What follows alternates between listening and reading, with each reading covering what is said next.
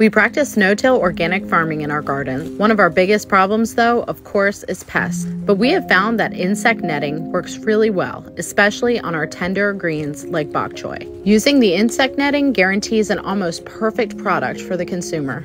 And although the upfront investment is very high, it pays itself off in dividends.